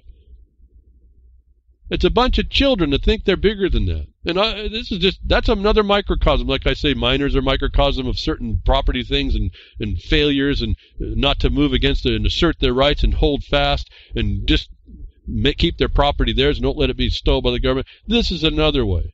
You have people that are educated, are schooled, I should say. They're schooled to believe they're an expert, and they're really just a child mind. And I look, this is what I see just about everywhere. Twitter's that way. It's why you see what's going on. It's insane. It's a bunch of kids. It's like toddlers or, or just higher. I guess I'll say it. I've been just sitting here watching stuff go on everywhere, even in the chat room. It's like a rumpus room. We, we couldn't get together to save ourselves if if it, if we understood well, we can't. I just we can't get together to save ourselves. We're watching destruction on the horizon, and none of us can get together to help each other. And those of us that are trying to do our best are not listened to, derated, derided, listened to in, with interest and not followed through or whatever. It's just a fascination to me at one level and a disgust at another, and I don't know what to do about it. So I just keep coming to tell you, let's get off, let's grow up. No data, little known, nobody knows, just conceal was all statements in this article about the GM potato. And this is what is best science. A big excuse to move forward. Why? Because it gives somebody a paycheck somewhere, gives them a little notoriety. And there's no one ever anywhere to check it. Science is a big cherry red button of political lobbying for profit. And until we figure out there is no science actually at this point, there may be a little bit here and there, but not enough, and not in the areas that that are affecting us immediately, like our food system. It's a feed system now. I told you this for years. It's not even a chance. Just, I, I guess I just bring this stuff forward and say, okay, here's confirmation, folks. It's not hard to see it was coming. It's not hard to see they're going to do it to you. Title 50 told me everything I needed to know. It shocked, uh, just say, it shocked Clint, Clint Richardson. Because see, you come at it, good people come at this different than what reality is, and we don't realize that. And, and then we, again, it's that the vision of the stinking abyss. You track it down and you see it, you, you're just blown away at how bad it can be. And it's already been there before you got there. People are astounded. And so, we can allow it. They're, they're, we've been taken down, taken over. It's getting getting it worse. We have people putting pushing cherry red buttons on no data, little known, nobody knows, just concealed, bias in a narrow-minded, childlike state, and we call that, we exalt that as something good, and the agencies pick it up because what? The bottom line. I keep telling you about the bottom line. It's we need to interject ourselves in the process, otherwise Uh, well, I don't know. You know, it gets. I just don't see a good a good response to this. It'll go where it goes, but I don't see it as a good thing. And those of you that have sons and daughters and family and people you care about and love about and want to see them go good in the future, that's done. That's all over. Engineered anti-CRISPR proteins for optogenetic control of CRISPR-Cas9. Stunning, stunning report. When you go through today what I've been talking about, about animal-based processes and GM modification through CRISPR, and you read this optogenetically controlled technology about the genes that they make, and then you remember we talked about the use of light now is coming on to do things. Oh, the Mexican uh, scientists just found out you can cure cancer with a dye. I didn't get to this story. This is a way your genes are made in order they are optogenetically controlled. If you don't think that we're coming on to some interesting times indeed, anti-CRISPR proteins are powerful tools for CRISPR-Cas9 regulation. The ability to precisely modulate their activity could facilitate spatiotemporal temporally confined genome perturbations and uncover fundamental aspects of CRISPR biology. We engineered optogenetic anti-CRISPR variants comprising of hybrids and A, uh, ACR 2A4, a potent Streptococcus pyogenes Cas9 inhibitor, and the LOV photosensor from Avena sativa. Co-expression of these proteins with Casper9, Casper Cas9 effectors enabled light-mediated genome and epigenome editing and revealed rapid Cas9 genome targeting in human cells. If you don't think that's showing you that you can walk through a beam of light at some point in the near future and be changed, controlled, switched on, switched off, changed, altered in some regard, uh, you're missing the importance of this little study looking within the tool. And this is the stuff they're putting in your food. I'm just fascinated. I mean, one, I'm just excited hearing this kind of depth of, of, of technology that's there. I'm terrified at what it looks like they'll be doing on all, a lot of the other st stories I've read behind the woodshed. All the little optical, optoelectric, optical control things that they did, that they talk about in other places. I said, well, if they put that in your body, watch out. And here, here's the technology that's saying, oh, we do this in the lab. I won't read more. You can read it yourself. It, I mean, part of me is terrified to see in the gene modification techniques what they understand already that you they're clueless. And they throw this out to us so that we'll know that it's there and possible but what i look at is when i see things like you know the binary weapons of the united states government over title 50 in 1953 where they spray something in the air of the san francisco bay area and then they have their class b transmitter the big tele television transmitter was a special transmitter that activated that that that uh, organism and then I think about this, you know, micro, these uh, radio technology transmissions are just a frequency. Light's just a frequency. This is activated by a higher frequency than what would come off a class B is all. We understand now that certain waveforms go right mostly through your body. There's not one cell they couldn't touch. Am I going too sci-fi here? Is this like too much out of reality? I really don't think so. I keep having to say that. Uh, you don't think I think about how nuts it sounds, but the technology is here and they understand it. And there's people out there that understand things like when you hear that doctor, oh no, we I'm work I've been I've been the expert on CCR5. And you know what? It does do that, but you know elsewise, we can't predict the mutations this is also doing elsewise. We have no way. It's impossible, Burger. That's your brain. That's what's going to go into the human organoid uh, or, uh, enzymes and things that are making your food. One day they walk through a beam of light. All you UFO guys, the beam of light comes down and all of a sudden you turn into a frog or something, I guess. A bowl of jelly. Some zombie. Who knows? Your mind goes fry. You aren't yourself the next day. Well, that's what that new uh, inculcation indoctrination center did to you, didn't they? Any rate, pretty cool technology, terrifying at the same time. And so why do we go there? Because they can. Next generation of warfare genetically engineered viruses. This isn't even new news. The point is, is when you connect up all this genetic stuff and these techniques and the tools that do this, you have the ability to trigger. You don't need a way. You know, 5G they don't need. They just get a beam of light here. All kinds of different pathways to trigger binary, trinary weapons. I've been telling you about the about these things for for a long time.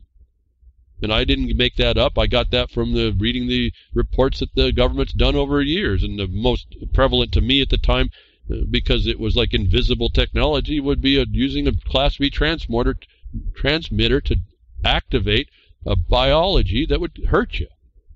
In that case, it was simply the flu, and they took reports about it. But getting over to here, next generation of warfare, genetically engineered viruses. what was I just talking about here? The engineering of the Cas9 uh, uh, anti-CRISPR technology to cause opto uh, genetic control. You don't think that's going to be built into these, and the government's uh, the warfare, is, the government, the military is working on it. That's title. That's Title 50, folks. I don't know what else to say. It's right here. And up pops this scathing report accuses the Pentagon of developing an agricultural bioweapon. These people don't miss a trick your food is very very important and they won't they don't care about testing it to find out whether or not they're going to go after it they're going to go after your food that's one of the main you know water food all your you know what maslow's hierarchy of needs now it's a reality this is not no no unknown this is not like oh they're doing it right now but when you tie all this with the things that i've talked about today relative to gene modification it's within the grasp. This is not science fiction future. This is not Dick Tracy looking at a watch that doesn't exist, that he's doing things with the communicator and all that. No, this is actually in the works, happening. There's people working on things we have no clue that have answers that are not speaking. And you see now that lack of disclosure could interfere with a administrative an administrative comment that says, "Hey, this guy over here says this can happen. You haven't figured that out. You need to go look at that. If your body, the body here, this governmental body, is here to regulate for safety, like you say, if it's not a pretense to hurt people, at least we get the someone goes out there and gets the answer. No, we're here to hurt people. Why? Title 50. Well, that would be neat awareness. I don't care what the truth is, as long as we're told it. But right now, that's not being told, and I think that's uh, a problem. I think that's a problem for people to really get it. We all want to just say, "Oh, that's not happening. It's, it's too sci-fi. Oh, that can't." Oh, they wouldn't do that to you. Well, go read Title 50. They can, and they are. Look around you. All you people that argue, uh, discuss, or get all feared, uh, feared of chemtrails and all this biological stuff that's going on, you, you, all have your chance to get involved with something that really, um, if, if, it, if it violates your senses so bad that you have to, that's all you talk about, you really should be making comments and addressing this thing in a more formal way and working to stop it. You know, we, we talk about chemtrails and chemtrail spraying. Well, they did that in the 30s on that experiment. They they spread a biological around until they infected people, and then weeks later they turned on the transmitter for a certain amount of times and fired it up, and people got sick. They did it to their own people, folks. You think this is not nuts? So what else do they do? What else do they do to you under the under the uh, efforts that we think is food security, like they told us, sustainable food security. And I told you that was nonsense, and watch out, and you've seen it, folks. Whether you want to agree to this or not, I told you this is what was going to happen when I we looked at those modernization bills that came through. There was about five or six of them. One of them was food security. It may have been 2010, 2011. I said, folks, your systems that these bills are touching are going to go down the tubes and you're watching your food system is doing that. Well, it wasn't. That was when they made it official. Long time this has been going on. This commerce-based profiteering. They don't really care that they harm you. So they don't care to make long-term harm for you. Why? Pharma, Chema, all the they the, they all make money on your sickness as as much as they would on you being active and going out and doing something. Because as a productive part, you're also going to make other um, economies and people profitable. You don't usually go uh, fishing without a boat, or you don't go fishing without a reel. They're going to buy it from somebody, so someone's going to make it, make it on what you think you need. And those are the okay. So but you have to eat and you have to do things. We may not have understood that these things are bad for us. We may not have understood that the agencies are willing and able and have had hearings on certain things and allow harm. And I've been here to tell you that all the time. This is what they partly do, and it's this risk management. How many people are going to get hurt versus the profits that can be made? That's the how that's how vaccines work as well. In fact, Japan had a problem. I may I don't think I'm going to get to that one, but Japan had the problem with MMR MMR vaccine. The the risk 1,700 kids uh, babies got harmed. They said that risk is too high. We're not going to do those. What we're going to do is we're going to split those MMR that MMR apart, and we're going to give one at a time, like I was telling you might be possible to do, and over a different time schedule. And and so I won't get into that story, but here study daily diet drinks linked to strokes, heart attacks, and early death. Bad news for those who have been chugging diet sodas under the belief that they're healthier than regular sodas. CNN reports that a new study from no less an authority than the American Heart Association says that, quote, drinking two or more of any kind of artificially sweetened drinks a day is linked to an increased risk of clot based strokes, heart attacks, and early death in women over 50. So, uh, anyway, this is not really a new story all uh, either, but this is also in the news, and you understand these artificial sweeteners are typically a GMO-based derivative from like E. coli. Aspartame, they said, was like milk and bananas. Remember, well, they were talking about particular two proteins that were in either, but not they aren't milk and bananas. It's this derivative that came from the GMO-modified E. coli, something that comes out of the uh, other end of where this milk and bananas would go. And so these things are found to be causing these problems. They have our adverse impacts. I say the word impact because that's your administrative term. Adverse impacts to their use. And now we finally get the studies where the government could care less. Could care less.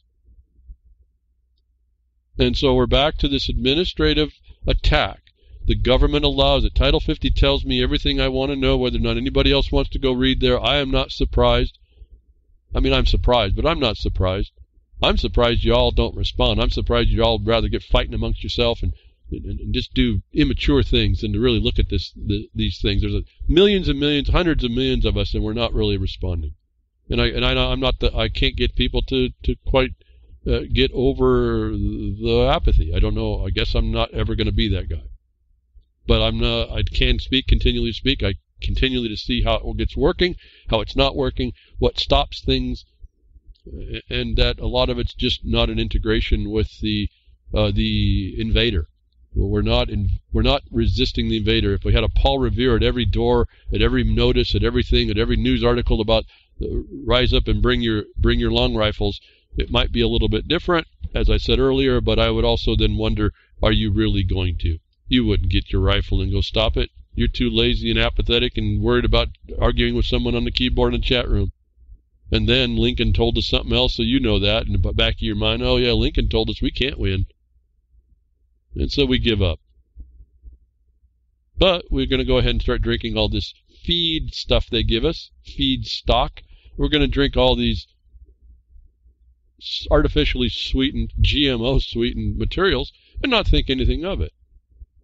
And so we find out it has a direct effect of our on our body. So when you're going to come in with a comment, you can say, this is what's been happening over, what, 50, 60 years now with these materials, and they cause these problems. And I'm offered you one more point and one problem.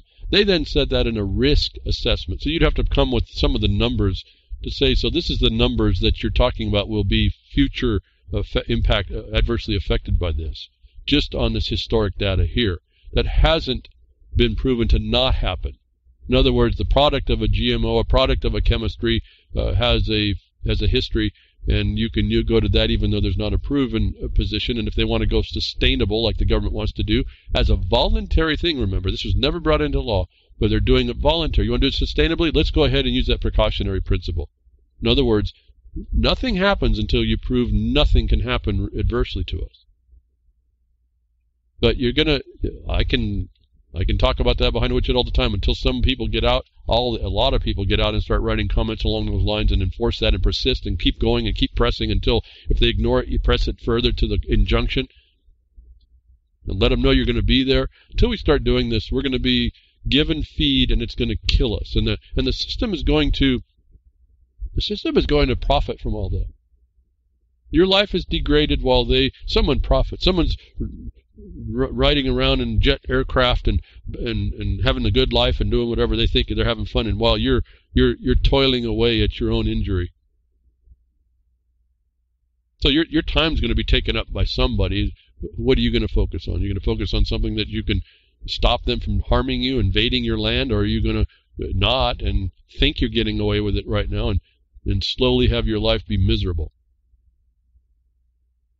And so, again, as I talked about the MMR, maybe a little bit premature, I'll get right to that about what the government allows and what the toxic, see, these toxic consequences are not being spoken about. Lots of people talking about it outwardly. I'm saying take all this knowledge and turn it into comments written down and sent into the agencies and persist. Our communication about it outwardly, once we know, is a waste of time outwardly. We need to turn it inwardly. St- Dr. Stephanie Seneff presents Roundup MMR and autism a toxic connection.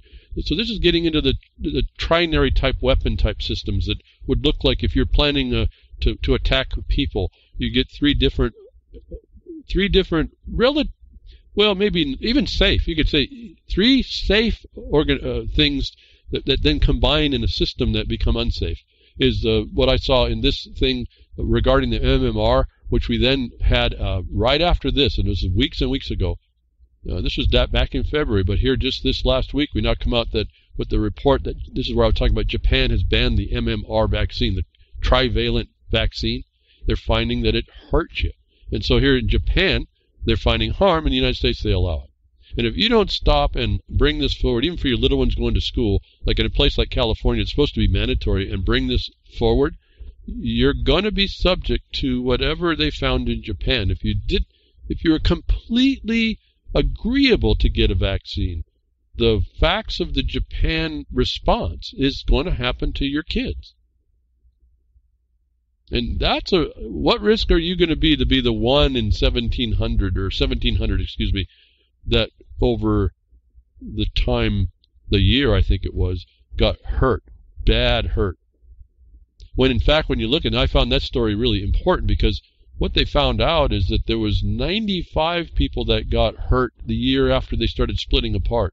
And I looked at that and said, well, that's still a risk that they took, but why don't they go find the 95, go look at those 95 and find what kind of a genetic structure, what kind of a life, investigate those 95 to find those that are affected by the secondary response. In other words, for the most part, apparently the vaccines that when they separate them out, and hopefully they were the right ones, not the one with the pollution in them, which I don't know that you can even filter out. So that's a little different argument. However, let's say we, we oh, let's let's give the science the, the, the credit the credit here that they does avoid 95 deaths if you take it. But let's find the 95 that were sick after and find out that's the ones that actually have to maybe uh, be protected, not a hundred percent. Let's work the other way. But see, you do it that way, there's no profit. So the exceptions are really what I've noticed in my life. The absence of something is really can tell you a lot. The a counter effect can give you a knowledge. In other words, 95 kids after you separate, there was still a group of 95 kids in the population that were sick. That speaks to me of genetic predisposition that may be very instructive for all of this stuff. So why Japan banned an MMR vaccine is explained for those of you that are into this. And this is not just vaccines. This happens to touch every other thing that an agency would do in agreeing to a monop- um, industry or corporation request for things that are safe and to make profit from them. And so to me, these are just instruction, instructive that I take and I then apply to other things to look for. In other words, when you find a report coming right out of the FDA that says, hey, there's these people that can't handle this concentrated, uh, impossible burger soy protein, that's what you want to look at that. You want to go right into there and see what is going on with those people. Because that may indicate something else that you can find that, that hasn't been discovered yet or can be filtered out. Why you do that? You do that so that you give warning to people because this is supposed to be due process. You're supposed to have notice. That's how the limited liability actually works. You can do some. I can do something wrong. California, I can put a carcinogenic material in a in a, in a product that, as long as I put that on the label, then I'm fine. You may not be, but that's up to you, isn't it? And when you understand, get your head wrapped around that part, then you start understanding what I'm saying more like the Clean Water Act is not an act to clean water, but an uh, act to pollute water just that much. And why it's uh, how when you lie about the pollution, you get charged and dinged hard. And if you just tell them you polluted, oh, okay, now that we know about it, fine. Then when you get your head wrapped around all that, these extremes that go on, maybe you start to start to figure out what I've been saying a little bit on how this all works. I don't think it's ideal. I don't agree with it. It's where we are, though, and this is what's working in the world. This is what your world is. This is how you're you're being destroyed. And then it and then it went sustainable. In other words, they can sustain the destruction of your country. And there's just so much to talk about. I mean, we can go on and on all the areas it happens. But I looked at it and said, well, okay, I can get overwhelmed by all the extreme of it, all the comprehensive attack, or I can go find out where's the path this they come through. I'll just I'll just target the path these people come through. In other words, I called it the method back in 2013. There's a way they go about doing this. If I can destroy that or stop it, then they, uh, this doesn't come on us. And then there's this other thing, another aspect to it. If you're doing that, if you're like I said, the you know the prairie dogs all looking for the eagle, none of you get taken out because you're all looking always and you know what to look for and how to look and what to do in the moment so that it doesn't happen. And then the eagle decides is he wasting time on your mound or or maybe he should go find someone else. Well, if the other mound is doing the same thing, that's going to be one hurting hungry eagle, isn't it? It's going to go find something else. And so that's part of how this strategy also works because the government sits there to cause the harms. It, it is the it, the it is the Delphi technique. It is that it is Hegelian, and not even that. It's even deeper than that. It creates the troubles. It gives us excuse to create trouble. Look at Title 50 again. This really is a, a pivotal. A, a, reading Title 50 gives you the when you understand what you're looking at, it gives you the it orients your mind very clearly on what how how this thing's situated, and I would hope it then orients you. If you have any tactical, strategic, critical mind, any logical mind, it will start to orient your mind in better ways to look at what we're doing. And, and for me, that was it removes a lot of the confusion. Absolutely. I don't have to make up stories about where I'm at. I just know exactly what the potential is. I work with the worst potential, and if I clear out the worst potential, everything less than that is cleared out as well. So I just focus on on the most extreme. And speaking of extremes, we the government creates its own uh, the problems that it solves, right? This is what the outcome-based living is all about. That's a sustainable society from the exploitation point. So here we have this interesting story that popped up to me. it was interesting to me at least. It, only in one short context. Return from is is I S I S is I is ISIS. American woman, the terrorists, so called. American woman want American women want out of extremism. Return from is is. American women want out of extremism.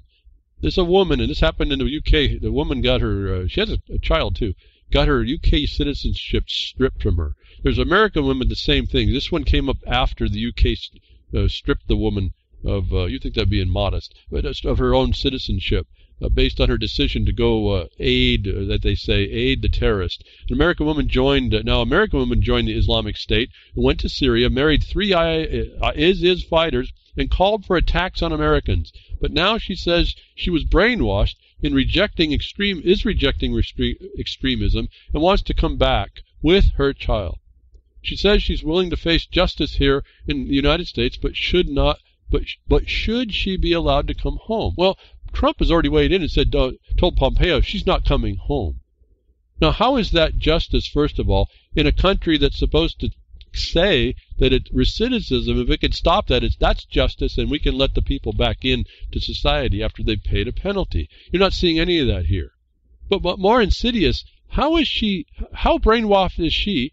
She says she's willing to face justice here in the U.S. The United States caused the problem. How insidious is this mind control that she believes she's coming back to the the United States to get justice. It's the one that caused the problem and is in denial of it. And her problem is your problem. The United States causes all this against us, and we want to make justice. We want to face what we want to face, and we'll face what we have to face in order to continue to live here. Never really pointing out that the perpetrator is the one that needs to be taken control of and stopped. Now, I'm not into the terrorism and saying this woman shouldn't look at something, but she was propagandized to by the elements of the things allowed by the government on a condition that the government fomented, created, worked out, fomented. We see all the history now. In fact, 911 starts the whole thing, but brings into an injustice in her mind. She decides, that, you know, and we look oh, she gets married to three ISIS fighters. Well, she got married to one, two, eight days later, the next guy's dead. She's marrying somebody else. Why? Because they're going to shoot her if she doesn't, also. Totally oblivious to the reality of realities but she's inside something that the United States caused. How can the United States provide justice in that? And I'm looking at a woman who, whatever, I don't know, maybe she did, didn't do, whatever. She's in her mind thinking she can come back to the perpetrator and get justice. And you see the perpetrator not giving anything. No, no, you're not coming back. Even where it's supposed to be the face of of uh, justice. It's supposed to be the face of righteousness, if you will. It's supposed to be the face of uh, turning the other cheek, all these other Christian values everyone wants to poo poo that were pretty good to have for people. Give people a chance, unless they can be shown to be the most vile and not, not changeable. That's the ones you put away because you just can't trust them to be anywhere to not do harm. But there's no. Why would she be coming to face face justice against in the face of the same type of terrorist? that she went over to support that she didn't know until she got there. The United States is a terrorist. It's the war of terror, not the war on terror. You, my dear listeners, are enemy combatants. If you don't need any, I don't know how you need any more uh, evidence of all this. This is the war powers working out in your face. They don't care whether they harm you. You're going to care whether they harm you. And even in the uh, occupation, there's due process. You see that right in the Lieber Code. And I was just informed by a friend of mine that they're seeing that people are talking about this point that we're in martial law. Whenever it says, well, wait, martial law is coming, they're saying we're in martial law. Go read the Lieber Code. I have to put a little bit of a smile on my face. For as little as I get out, I must be getting out because this is the condition that has to be getting in people's minds. Forget about the coming of martial law. You're in it now. What are you going to do about it? But even inside that, Lieber Code tells you you have options. So you put yourself and reduce yourself to the least amount of wiggle room, and you start functioning from there, and you're going to find yourself able to wiggle, aren't you, instead of what you're doing? But what you're wiggling is against the oppression. And one, you can free the bindings pretty quickly once you start seeing this the way I've been trying to explain it to you. Uh, and uh, so we have a. I just want to. I looked at this American woman wants to uh, face justice in the United States, and she's going to the terrorist in order to do that. Someone who's duped by the terrorist wants to go back to the terrorist. Isn't that like the Stockholm Syndrome? This is society, folks. We're all in a way like that. Mapping the American War on Terror was another story I found fascinating right after the one I read there from Common Dreams. Let me fix something for them in their title and I'll move on. Mapping the American War of Terror. How's that? Just fixed it. Now we go on. Now we can talk about it. The American War of Terror. The American, the United States, U.S. government is a terrorist. And until we come to terms with that, and when and then they work under the war necessities. Until you come to terms with that, you won't understand what you're up against. You'll complain about it. You'll see it's wrong. You'll sense it's wrong, but you won't understand, firstly, uh, how it's actually wrong. You'll make up all your stories and mythologies, all your utopias, but you won't address it. And we're required to throw the occupier out, even if it becomes our own our own government. How do we know that? Our own government. Yes, I said that. Our own government. How do we know that? Because free men in the world on the Declaration of Independence had to throw out the last our government. And the Second Amendment, even though it came a year later, says that's going to happen again, and we're going to, you as a government are going to have to recognize we have the right to defend ourselves. And so we're at war with that government. And they, they, like you change this uh, grizzle stuff that you turn into a pink slime to, we're going to call it ground beef. They've taken the war of terror against the world and made it the war on terror. And I've talked about the Lieber Code and how that works, and there's limitations even within that context. And here we have another story. All this stuff is right here to tell us if we, I guess, have the eyes to he- see, the ears to hear, or vice versa, I suppose. You, ears might be able to see light. I don't know, but uh, especially well when you get those those uh, CRISPR anti-CRISPR adjusted uh, optical gen, optogenetic uh, cells in your hearing sense, they can turn it on by shining a, an eye and a light down in your. Maybe your doctor turns you on or turns you off in the future. A U.S. Supreme Court, even underneath the rule of war, uh, United Supreme Court rules the limits that, to limit states' ability to seize property and impose fines. So even within the war and the and the and the the, the, the, the um, uh, seizures that they make that we talked about here weeks ago and, and, on and on. The United States Supreme Court ruled unanimously on Wednesday that the excessive fines clause of the 18th Amendment applies to state and local governments announced an opinion written by uh, Justice Ruth Bader Ginsburg. No, she's not dead. And no, they're not hiding her body on the uh, so Trump can stop asking, get on business, I suppose. Ginsburg on her second day went uh, to the bench following a December cancer surgery. The ruling limits states' ability to seize property, imposes fines deemed excessive on citizens who break the law. This is really immense. But even under the context of an occupying force underneath the laws of war, there is a limit. And I read that to you when I read all those sections to you. So this is really not a surprise. Now, you would think this wouldn't even be a question. You think that the states, for those of you who think states' rights is the answer, you think they would limit it and be reasonable, and they wouldn't be punitive. No, this is the whole point. They want to beat you down. You don't live in the country you thought that you were. The Lincoln made that change for everybody. They called it good because it kept the Union. Now, keeping cohesiveness may have been a good idea, but the way they kept it was under military control, or so much as you don't see the military control. And then they made the war on drugs that they took and they said, oh, we can steal everything. Well, this court case that went through, the Supreme Court just said, no, wait a minute. Now you just, you have a certain penalty. You can't take their car, their house, their this, their that, if the charges are only for 300 bucks or 400 bucks or whatever, $1,000. You can't do that. That's not within the context of this of the notice that these people are living under underneath your thumb. And so this I don't even know how this became a question, but this is what you states' rights people the states will do this to you. And the Supreme Court still has apparently this power to identify the excess of the military because that's an admiralty search and seizure if you understand the power here. That's exclusive to the federal government. So the locals can't do beyond what the constraint of the admiral is, which is also under a constitution. You see that in the Lieber Code. Go read it.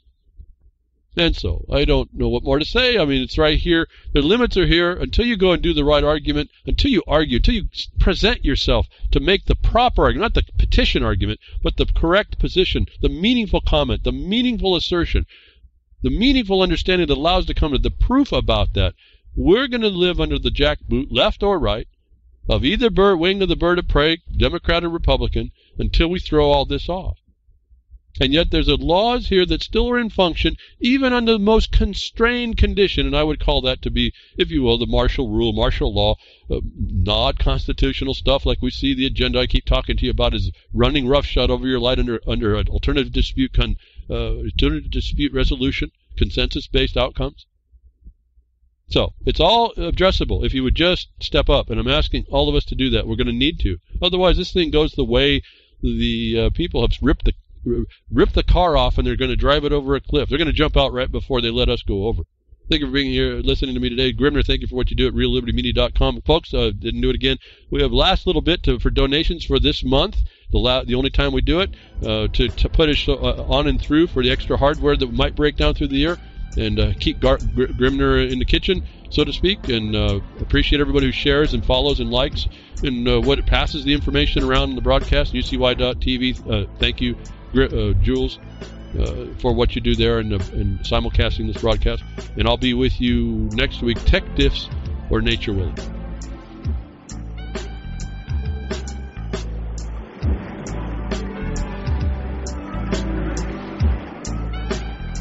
Well, that's another lesson. I hope with today's information you can take it to those that misbehave. From behind the woodshed, leaving his mark on the beast, This is Hal Anthony. Till next time, journey with purpose.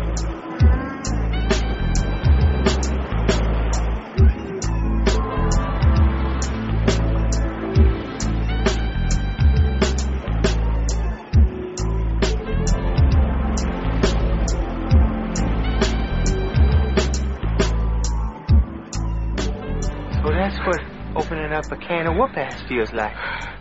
Son, you just opened a whole case of ass.